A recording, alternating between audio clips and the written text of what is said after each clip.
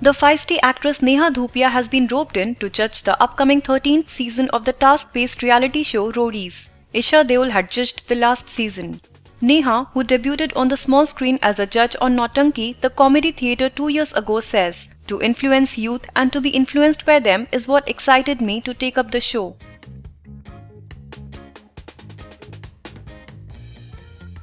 And coming from an army background, I think I've got a thing or two to add to its action aspect. I want to propagate the idea of being yourself, having faith, and never give up on your dreams.